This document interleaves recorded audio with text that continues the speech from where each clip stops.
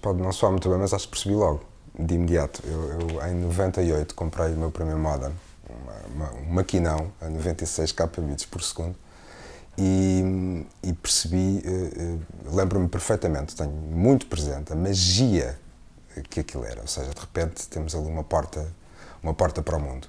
Eh, hoje, retrospectivamente, aquilo era lento, aquilo era até feio, mas na altura eh, lembro muito bem do fascínio, do maravilhoso, do espetacular que aquilo era. Eh, e eu acho que percebi logo, percebi logo, não percebi, obviamente, o alcance, não sei fazer futurologia, não percebi que vinha aí o streaming, não percebi que vinha aí uma série de coisas, obviamente, foi há 20 anos, mas, mas lembro-me perfeitamente de pensar que nós nunca mais vamos deixar de ficar agarrados a isto. Eh, se é que me faço entender. E de facto não. Não sabia, obviamente, que vinham aí os smartphones, não sabia nada disso. Mas percebi que, uma vez tendo internet, nunca mais vamos deixar de ter isto. Uh, e, portanto, acho que isso diz tudo. Quando, quando, há, quando há uma coisa que te agarra e que, e que, tu percebes que essa necessidade passa a ser permanente, mesmo que não saibas porquê, uh, eu acho que esse, essa sensação é tão forte. É uma droga, não é? Essa sensação é tão forte que nunca mais a vais deixar conseguir largar. Acho que sim, acho que há, há, uma, há, uma, certa iliteracia, mas que está presente ou que está ligada a todas as outras iliteracias. Se uma pessoa pega, e já vi isto acontecer, provavelmente tu também, variedíssimas vezes, se uma pessoa pega num telemóvel uh, e faz ok, ou sim ou não, sem sequer ler o que é que lá está, e, e se disseres à pessoa, mas por favor lê o que é que lá está, a pessoa não percebe o que é que está a ler esta literacia funcional, ou seja, a pessoa não, não é analfabeta, a pessoa sabe ler, mas não consegue compreender a mensagem que, que tentam passar. Isto é só um exemplo, é a ponta do iceberg. E, portanto, há uma iliteracia na medida em que, em que, hum, em que isto é muito bonito de carregar aqui e ali e fazer acontecer coisas, mas uh, não perceber efetivamente o potencial que podes tirar daquelas coisas. Uh, tu vês pessoas que uh, compram telemóveis de mil euros para mandar mensagens não é? Isto é literacia, não me venham com. Ok, é moda, é um produto, é um produto de, de, de como é que se diz? Um produto de consumo e, e a pessoa, obviamente, pode querer ter um relógio muito bonito eh, só para ver as horas e igualmente caríssimo. Mas tu não precisas de um smartphone que custa mil euros para mandar mensagens ou para, ou para ver o Facebook. Um, um telemóvel de 200 faz precisamente a mesma coisa. Eh, podes achar que, que é um bocado repuscado, mas isto é uma forma de iliteracia. Entendes? Eh, e, portanto, eu acho que isto tem, eh, tem, eh, tem depois, é, é transponível para, para os tais cargos de decisão, porque isto vem cá de baixo né, e vai até lá acima. Eu acho que isto é uma forma de literacia funcional e digital. O não conseguires adequar a tua vida, o teu negócio, àquilo que são as, as, as possibilidades do digital, que são imensas. Que são imensas, ainda estão muitas delas todas por explorar. Tu, tu e as pessoas, se calhar, que tu convidas, somos muito maus exemplos daquilo que é a realidade porque somos pessoas, uh, isto tem a ver com o teu trabalho, tu, tu, estás a convidar para estar aqui nesta cadeira, pessoas que são pessoas digitais, digamos assim, não é? Pessoas ali para a rua, o mundo não é assim, é? sabemos que o mundo não é assim. E, e, e, por isso eu digo, a percepção que eu tenho não é essa. Eu acho que a pessoa que uh, vai à Amazon comparar um preço com uh, preços de produtos ou, e vai, vai ver reviews de produtos, é, essa pessoa tem que, ser, tem que ser muito tonta para não implementar isso no seu negócio, se tiver um. É? E para não olhar para as redes sociais e ver naquilo um veículo de venda de coisas, porque é para isso que ela serve. É? Ok, para ver os gatinhos e para ver o que é que os amigos andam a fazer, mas para os negócios, uh, aquilo serve para vender, vender coisas, vender estatuto, vender imagem e vender até produtos reais. Compra aqui. Uh, e, portanto, custa-me custa a querer, mas traz, traz uma percepção mais fina que a minha. Eu não tenho essa percepção, pelo menos nas pessoas que me rodeiam. Eh, por acaso, e das poucas que conheço com negócios, uh, e tenho, tenho, uh, tenho uns compadres que, que, têm, que estão nessa área, eles têm uma loja física e têm uma loja digital e não perdem o foco. E conseguem, conseguem curiosamente, isto se calhar, se calhar até isto vai de encontrar aquilo que tu, que tu me perguntas, que é, tu falas de uma loja de brinquedos. Eles têm a companhia dos brinquedos e eles têm o site. E o site serve para alavancar as vendas deles na loja física. Ou seja, as pessoas vão ao site ver que produtos é que eles têm, podem comprá-los online, eles mandam o correio, mas as pessoas preferem ver no site o que é que têm, pegar no carro, ir à loja, mexer nas coisas. Isto sim, isto é muito português. Uh, isto, isto acho que tens razão. É uma coisa muito portuguesa. Ainda não temos, se calhar, confiança Eu conheço pessoas na Alemanha que compram sapatos para a internet. Eu não conheço nenhum, não tenho ninguém no meu círculo de amigos que compra uns sapatos para a internet. Quer dizer, não, não, a gente sabe o número, sabemos o número que calçamos, mas nós não compramos um par de sapatos para a internet. Dou-te um exemplo de casa. Eh, eu estou no público desde janeiro, há muito pouco tempo, e o meu pai, que se mexe bastante bem nestas coisas da internet, eh, começa, já conhecia o público, como é óbvio, mas começa a explorar melhor o público. E nós temos uma paywall, e de repente para mim diz assim: então, mas agora tenho que pagar para ver as notícias. Estás a ver? Eh, é tudo borla. A internet. As pessoas habituaram-se. Em Portugal, não sei se só em Portugal, mas uh, uh, os millennials estão, estão, a dar a volta a isto. Podemos, lá, podemos falar nisso se quiseres, mais à frente. Mas, pelo menos em Portugal, uh, ver notícias, ver se calhar até filmes, e ver, é tudo borla, porque está na internet. O meu pai não tinha problema nenhum em comprar o, o público em papel e dar um euro, um euro para o público. Mas no, computador não tem que dar. Mas porquê, pai? Mas tens que me pagar o euro. Não, não, nós precisamos de. E, portanto, há, hum, há esta, esta, uh, uh, esta percepção de que, de que aquilo que é digital não dá trabalho é uma coisa muito difícil de desmontar. E tens exemplos mais, mais de trás da música. Né? A música, então eu não tenho que pagar, que pagar para a música. Uh, uh, vais ao Napster, lembras-te do Napster? Né? Vais ao Napster e sacas música. Uh, não, nós precisamos de pagar, nós precisamos de devolver a quem produz os conteúdos alguma coisinha, digamos assim, porque senão estas coisas desaparecem. E os jornais são paradigmáticos nisso.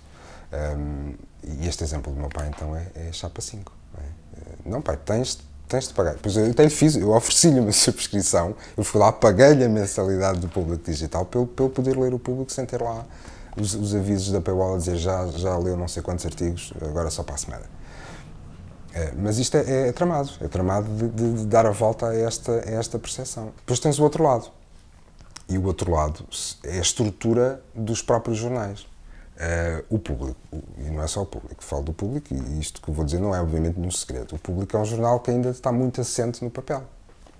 O público tem é, dezenas e dezenas de jornalistas que trabalham sempre com o papel em foco. E isto ainda é muito assim nas relações em Portugal se calhar descontando os projetos digitais de base, como por exemplo o Observador uh, e outros. Uh, mas ainda se trabalha muito a pensar naquilo que vai sair na edição da manhã e não naquilo que é o online, uh, que tem muito mais leituras do que o papel. Isso depois é um bocado, é um bocado estranho até gostava de ver estudos, estudos que, que, falassem nisto, não é? Porque nós temos a classe, a classe jornalística e até as pessoas a confiar muito mais num suporte do que no outro. Os jornalistas, por um lado, porque acham que o papel tem, de alguma maneira, que eu não sei qual, mais relevância ou importância, e as pessoas do outro lado a achar que se está no papel é porque é mesmo e no online talvez não seja. Não sei se me estou a fazer entender. Um, quando é uma tontice, porque o público tem uh, eh, 50 milhões de visualizações por mês e tu não tens 50 milhões de jornais vendidos em papel. Longe disso. Então, quer dizer, temos de um lado uma plataforma que é a coisa, vou-lhe chamar, vou exagerar de propósito, que é a coisa séria e a coisa. Depois tens do outro lado a internet, tem um alcance esmagadoramente maior e que parece não ter tanta importância.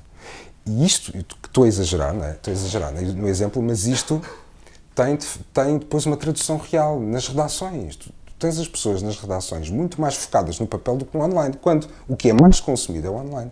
Não me perguntes, eu não consigo resolver, não consigo resolver isto na minha cabeça. Não sei, é um mindset. É a tal almofadinha que tu falavas, ou que tu me estavas a perguntar, estavas a perguntar se eu achava que as pessoas estavam muito bem. Sim, os jornais, os jornais e as empresas, se calhar, estão muito, eh, muito uh, confortáveis eh, nos seus modelos tradicionais, se calhar muitas a achar que isto da internet é só uma moda. O público e os jornais estão a fazer um grande esforço, um grande esforço, por sair da linha d'água, é? E porquê? Porque tens o Facebook e o Google a comer a publicidade toda, já nem sei quantos por cento, mas, mas é a esmagadora maioria fica para o lado deles. E tens, tens depois esta iliteracia que acha que os jornais digitais não têm que ser pagos por estar na internet e por estar na internet é tudo borla. E, portanto, tens, tens a malta toda, uh, papel não se vende, e tens uh, as empresas uh, de média a tentar esticar, a esticar o pescoço. E encontrar formas de ganhar dinheiro nisto. Um, tens aqui, tens aqui dois caminhos, que é ir só para publicidade, já se foi que não paga as contas. Já ninguém tem paciência para banners, blocados, né? bloquear os, os, os, plugins que fazem bloqueio de publicidade. Tens. Hum, ninguém quer saber, já disse. É, apesar de o marketing gostar, eh, continuar a gostar de ver o banner. Ninguém clica lá, que é um efeito. Eu não sei nada de marketing, mas se calhar é uma coisa gira de se ver. Porque é que se insiste em ter. E às vezes há banners bem bonitos. Uh, e depois há outra, há outra coisa que já há bocado falámos disso, que já vem de trás, eh, já vem de, de, fora e que está a começar a chegar em força, que é o branded content, o conteúdo, o conteúdo patrocinado, em que a marca quer produzir um conteúdo que vai aparecer no jornal, eh, não dissimulado de notícia, isso, eh, atenção, não estamos aqui a querer enganar ninguém, mas a dizer, ok, esta marca está a fazer este texto, que tem um texto bem bom, que tem um vídeo bem giro, que você vai gostar de ver. O branded content traz muito dinheiro aos jornais ou melhor, os jornais esperam que o branded content comece a trazer cada vez mais dinheiro aos jornais. Isto porque se começa a perceber pelas métricas, quando se olha para os números, quando se olha para a folha de Excel, eh, que as pessoas têm interesse em coisas bem feitas. Se o conteúdo for bom, as pessoas têm interesse, clicam e veem o vídeo, ou leem o texto, ou veem as fotografias, ou o que for. Além do branded content, os jornais já perceberam que há, outra, há outro caminho que, que os pode uh, ajudar a manter, como eu dizia há bocado, com o pescoço fora d'água, que é a produção de conteúdos. Produção de conteúdos para fora. Vou dar um exemplo. A produção de a fazer uma conferência, fazer uma conferência uma, de conteúdo editorial, de facto, em que tu pegas no assunto e convidas pessoas para ir a esse painel e arranjas um patrocinador para pagar e para patrocinar esse evento. Este tipo de modelo, de, de este tipo de modelo também tá, está a trazer dinheiro, uh, por isso é que os jornais fazem as conferências, fazem os colóquios, os debates, etc. Porque isso já perceberam uh, que os patrocinadores gostam de estar associados, as grandes marcas gostam de estar associadas a produtos editoriais, que é diferente do branded content. É uma coisa é dizer assim, eu quero patrocinar este iogurte, eu quero eh, promover este, este iogurte que tem umas leveduras especiais e vou fazer e vou pagar um, pagar por publicar um artigo científico sobre essas leveduras. Isso é branded content. Outra coisa é o jornal decidir fazer, como o público tem, uh, um, conjunto de conferências sobre mobilidade urbana e, e, depois dizer às marcas como é que é, quem é que quer patrocinar isto. E as marcas gostam de estar associadas a um produto muito bem feito do público, dizer assim, sim senhor, eu quero pagar. E isto é um modelo de negócio que aos poucos começa a aparecer, o público faz isto, o observador faz isto, outros, outros meios fazem isso, porque se percebe que é, um, que é eh, das, das maneiras, eh, das novas, já não é nada novo, não é? Como tu dizias há bocado em conversa antes de gravarmos, que isto, isto lá fora se calhar já se faz há muito tempo. Mas é uma maneira que os jornais têm de, de trazer, trazer receita, trazer dinheiro. Uma outra face da moeda e desta competição absolutamente doida do digital é o clique. E todos nós sentimos isso. O público sente isso, o Expresso sente isso, o DN sente isso. Aliás, tu se ativares no telemóvel os sistemas de notificações, que está sempre a cair, pim, pim, pim, pim, porque eles precisam que tu carregues naquilo e que faças um, um plim lá no Chartbeat, que é a ferramenta que a gente tem, ou no Google Analytics, que conta mais uma entrada, olha, mais uma pessoa que entrou. As, as administrações dos jornais precisam desses números, porque depois são esses tais números que vão vender banners. Já ninguém clica no raio dos banners, mas são esses números que vão vender, do ponto de vista comercial, vão vender, vão vender aos, aos, aos eh, vão vender anúncios. E essa urgência do público uh, tem-nos obrigado, nós jornalistas, a fazer muito disparate. Uh, uh, o público teve uma há pouco tempo que foi exemplar. Exemplar porque foi na. E eu estava de serviço, eu estava lá, foi uh, anunciarmos a morte de uma pessoa e ela não tinha morrido. Que é uma chatice. Não é? Uh, porquê? Porque fomos, tínhamos uma informação de uma fonte que confiávamos, e não era isso que estava em causa, mas não tivemos a, eh, a presença de espírito de uh, confirmar mesmo que isso tinha acontecido. E aí vai a notificação. E depois passamos pela vergonha de ter que dizer: não, o público errou. E fizemos isso como era a nossa obrigação fazer. E não é, não é isso que está em causa. Mas se calhar precipitámos. Eh, se calhar não, precipitámos. Nós devíamos ter esperado um bocadinho mais e não, não devíamos ter ido atrás dessa, vou, vou dizer a mesma palavra, dessa fuçanguice de sermos mesmo o primeiro a dar, porque isso tem feito muito ao jornalismo, dentro dos jornais de referência portugueses. É? Um, ehm, E, e, e, depois, páginas tantas, acabamos por ser todos confundidos uns com os outros. É? Tens, tens uns pseudo-jornais que inventam uh, tretas que depois vão ao Facebook e as pessoas acham que aquilo é verdade porque vem de um suposto jornal. Depois, de repente, é tudo a mesma coisa. Não é tudo a mesma coisa. Mas eu acho que o, jornal, o jornalismo tradicional tem contribuído para que as pessoas achem que é tudo a mesma coisa. Porque, de facto, temos feito muita asneira.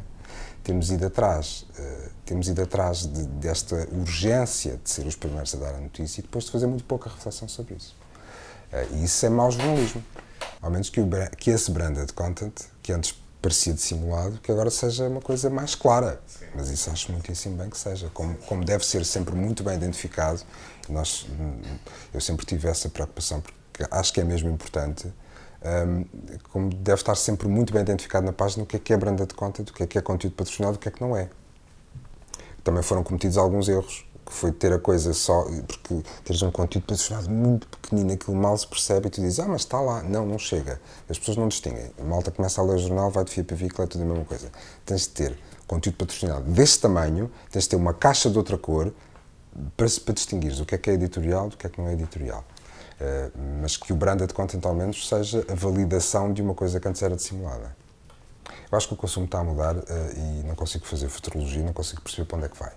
Mas uh, eu costumo pensar que se há coisa que boa que o Netflix e, e o Spotify trouxeram de bom foi fazer perceber às pessoas que se calhar temos que começar a pagar pelas coisas que queremos ver, se as queremos ver com qualidade. Porque podes piratear na mesma um filme para a internet, mas quando vês aquilo no Netflix, é tens HD, tens a coisa como deve ser, tens as legendas certas, não estás a comprar gato por lebre. Uh, e o mesmo se passa uh, no, consumo, no consumo de informação, por exemplo, de jornais. A maior parte, a maior parte dos novos subscritores do New York Times, que são assim aos, aos milhares, são millennials. Malta com 20 e tal anos. Ou com, que vai até aos 30 anos. Ainda há, ainda há pouco tempo me diziam uh, pá, vou subscrever um jornal, mas ainda não sei qual. Isto é um paradigma interessante. É tu perceberes que, ok, tens aqui já alguns jornais com paywall, agora vou decidir qual é que quero eh, que seja o meu, ou a minha fonte de, eh, de, informação privilegiada, porque é isso, quando pagas meu paywall é isso que tu queres, não é? É teres acesso a tudo quanto é artigo e a teres... Um, ehm, e este paradigma, este paradigma é interessante um, ehm, e, e, porque é uma tomada de consciência que de facto as coisas têm um valor intrínseco que devemos pagar por elas. De que forma é que isto pode estar ligado ao consumo, uh, à tua questão do consumo digital? Uh, eu acho que não são só os miúdos. Eu próprio, eh, quando tenho que deitar a minha filha às 8 da noite, eu não vou apanhar o início do telejornal quando me apetece vê-lo. E estou descansadíssimo, porque sei que vou à boxe, puxo para trás e eh, vejo o jornal de início. Melhor, quando chega a publicidade, eu faço fast forward e vou Portanto, eu não vejo publicidade nenhuma, não tenho que estar a levar com as tuchas da publicidade, que é um problema que eu não sei como é que as televisões vão resolver. Ou, ou se as boxes vão um dia obrigar a ver a publicidade, tipo, esta parte não vais poder andar para a frente. Na volta é isso que vai acontecer. Ainda não tiveram esta ideia brilhante, mas quando tiverem, vamos ter mesmo que levar com a publicidade. Um, e eu também passo dias e dias e dias que não ligo a televisão. Mas aí está, eu também não sou uh, se calhar eu e os, e os, jornalistas não são exemplo, porque nós passamos o dia todo a levar com notícias. Eu chego às 8 da noite, não me apetece, a não ser que eu saiba que esta ou aquela televisão tem uma reportagem especial sobre isto ou aquilo que eu quero ver, uh, porque senão não liga a televisão, para quê? Se nós durante o dia estamos com o telemóvel na mão o dia todo, Uh, levar notificações dos jornais, com notícias no Twitter, com notícias no, no Facebook. Às oito da noite quero é passa, descansa, não. Quer que me chateias com notícias? Um, portanto, se as coisas estão a mudar, estão. Para onde é que vão? Não sei. É uma bota difícil de descalçar, honestamente. Eu não, não te consigo, desculpa, estou aqui não te consigo ajudar, não consigo, eu não faço ideia como é que vão descalçar essa bota. Agora, podes posso dizer também que se me perguntares se a televisão está a perder relevância, eu acho que não. Eu acho que não está, não está a perder relevância. Quer dizer, as, as pessoas eh, as pessoas continuam a ter a televisão como um meio sério, apesar de, de, das pessoas também perceberem que uma coisa é a telenovela, outra coisa é o noticiário. Eh, e embora também a gente já tenha percebido que os noticiários são produtos de entretenimento, porque se tu primeiros aquilo só tens ali 15 minutos de notícias. Não é? Todos os, todo, a outra hora a seguir é para encher, porque é um produto de entretenimento barato. É mais fácil fazer um telejornal do que fazer uma telenovela. Portanto, se conseguires entreter ali a malta durante uma hora e tal, às vezes uma hora e meia, com conteúdos e às vezes, obviamente, não é tudo coisas descartáveis. Há, há bons conteúdos e boas reportagens que, que, são encaixadas no telejornal para fazer render o formato, porque é de facto mais barato que fazer uma telenovela. Um, mas posto isto, eu acho que, que, a televisão não perde relevância. Uh, se o hábito de consumo está a mudar, com certeza que sim, e eu por mim falo e tenho 44 anos. Portanto, não sou nenhum miúdo. Eu, eu já não ligo a televisão. E quando a televisão se estragar, acredita, não vou correr comprar outra. Há de ser quando houver dinheiro e quando houver. Porquê? Porque temos os tablets, temos os telemóveis, os ecrãs são cada vez maiores. Eu consigo ver um filme, se estiver sem sono na cama, consigo ver um documentário de uma hora no telemóvel, que tem 5 polegadas, com grande conforto. Eu já não preciso de ir para a televisão ver um documentário ou ver um Netflix. Ou... Eu vejo isso no telemóvel. E, e, o que é curioso é que meu pai também. E meu pai tem, tem, tem mais de 70 anos. É giro, é, é giro. Como é que as televisões vão descalçar esta bota? Não sei. Há pouco falava que faço fast forward às, às publicidades, mas é que alguma coisa ali fica, porque quando fazes fast forward tu vês a publicidade da marca tal a passar. E a publicidade eh, é muito bem feita do ponto de vista da construção, da miudeza. É porque eh, se tu levares com. Quando fazes fast forward e aparece-te um carro da, de um carro qualquer da marca, e aparece-te uma vez, aparece-te segunda vez, aparece terceira vez, e tu que estás no meio sabes que aquilo vai ficando aqui na tua cabeça, e tu quando pensares em comprar um carro, tu não sabes porquê, mas aquilo influenciou-te. E portanto, tu podes fazer fast forward das publicidades, mas ainda é poderosa esta junção de imagem e de som e tu levas que aquilo, de alguma maneira, quando fazes, fast, apesar do fast forward, tu, tu continuas a levar com a publicidade e isso continua, mesmo que a gente não saiba explicar porquê, a ter poder na tua decisão de compra. Tenho uma vida antes disto tudo que não tem nada a ver, mas que é interessante, na minha... são parentes. Eu sou jornalista desde a fundação do Observador, jornalista a tempo inteiro. Estou ligado à comunicação pela via da rádio, faço rádio há 30 anos. Portanto, que é um veículo de comunicação extraordinário. Eh, porque eu fui profissional de saúde durante 20 anos. Né? E, e é giro, porque depois há esta vida antes, eu cheguei aos 40, mudei de vida, que é possível mudar de vida radicalmente aos 40 anos. Eh, e consigo estar no jornalismo e olhar o jornalismo de fora. Eu não sou aquele jornalista de carreira que, que vem há 20 e tal anos que fazem. Não, eu, eu, eu era um consumidor de jornais, apesar de trabalhar na TSF, e obviamente que estava a levar, que estava a levar notícias e informação constantemente, e era eu também, eu próprio era um, um, um veículo para isso, uh, mas consigo estar no jornal e, não, e olhar, sabes, não sei se, se me entende, e olhar para os jornais como, para os jornalistas, para os meus colegas e para aquilo que fazemos, ainda como uma coisa, conseguir olhar de fora. E isso é, é muito interessante. É, é, muito interessante. Às vezes, às vezes os jornais e os jornalistas estão tão concentrados em coisas que não têm aquele interesse que eles acham que têm.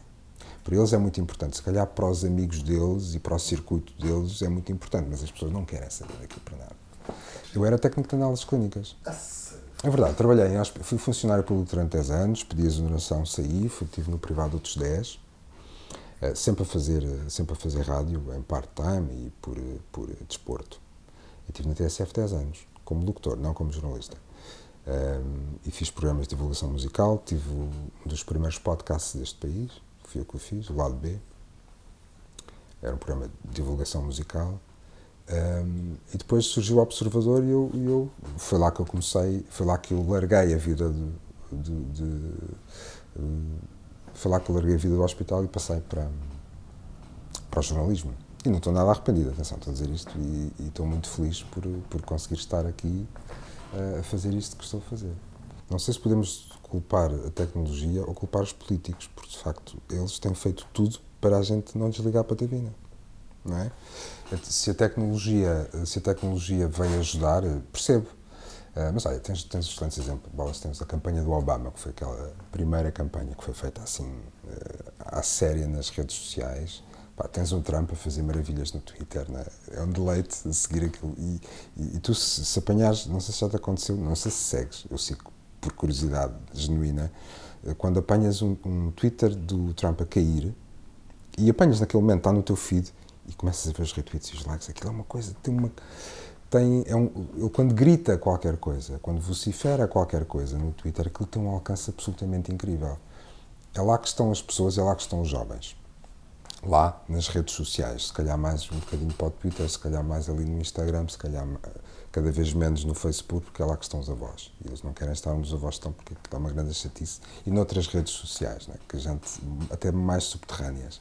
Ok, a gente sabe, e toda a gente sabe que é a política que manda nisto. Não é, quer dizer, não é, é o poder económico. Mas pronto, temos, temos esta ilusão. E os políticos são importantes, como é óbvio que são importantes. Não, não é isso que está em, em causa. Mas eles têm que nos convencer que nós temos que os ouvir melhor.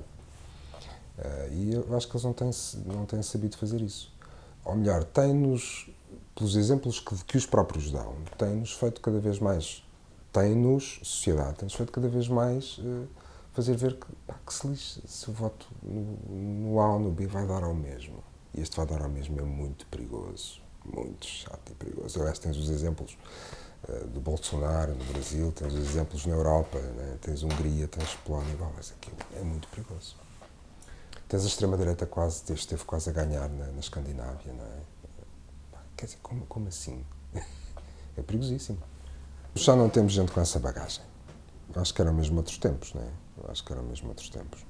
Não tens já malta com esse arcabouço para, para te dar, para te dar essa, essa oportunidade deliciosa de, de assistir a uma discussão política como deve ser, de substância, e não de eh, deixar lá sacar o voto.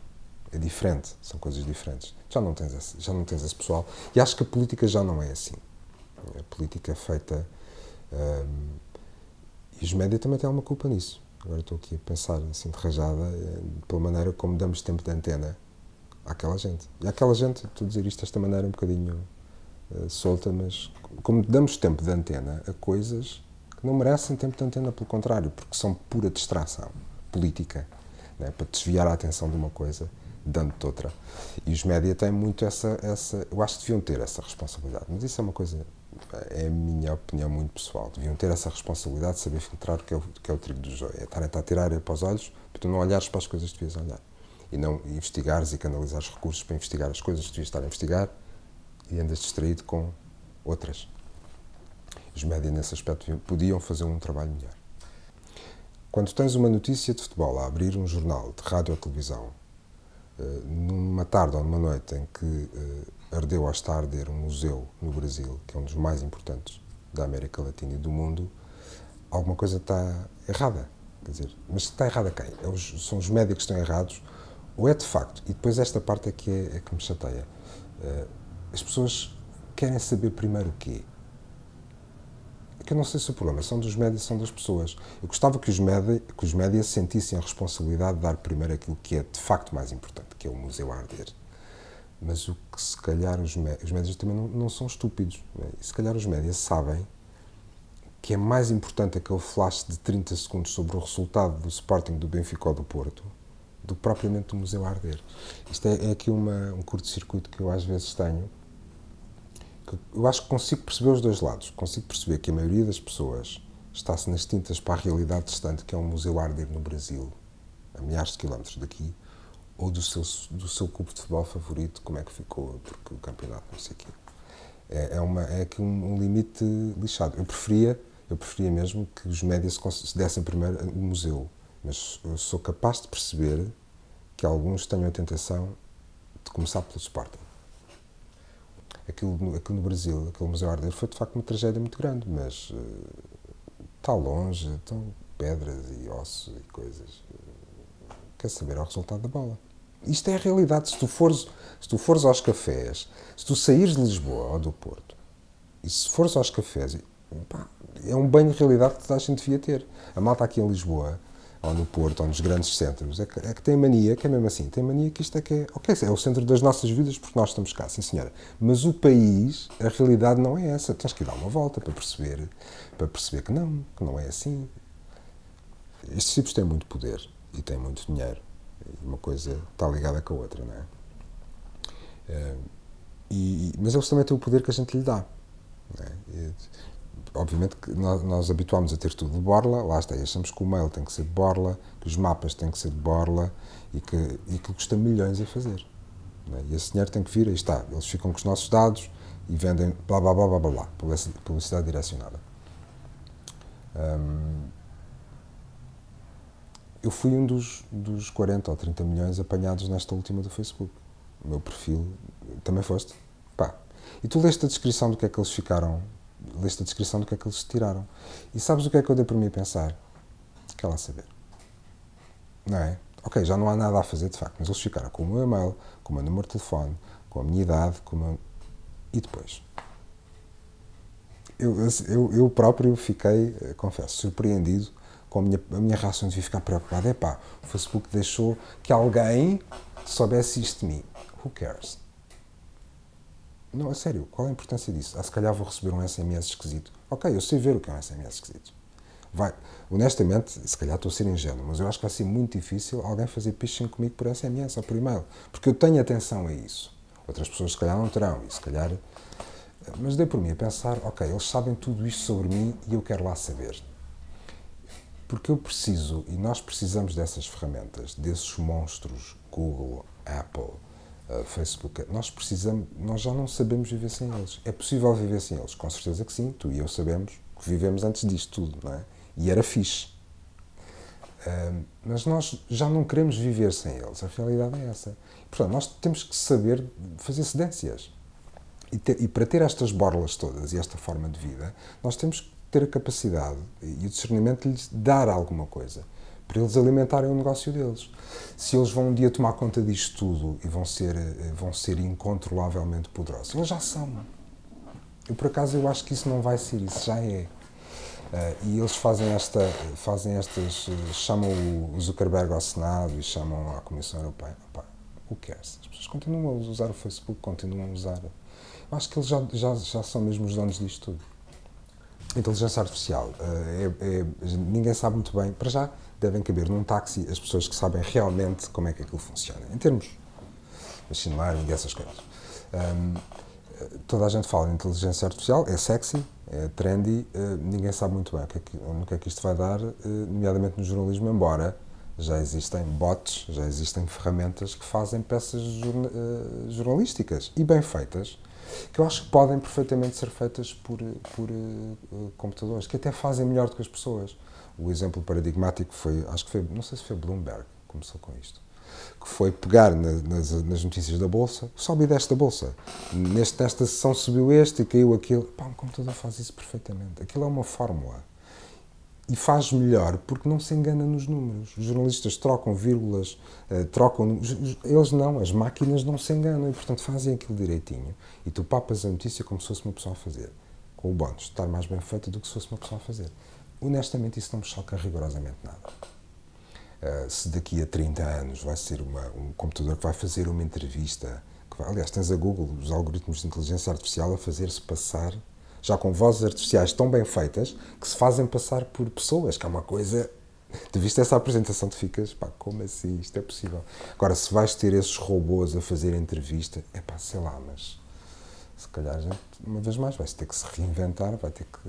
Não sei, não, é muito difícil.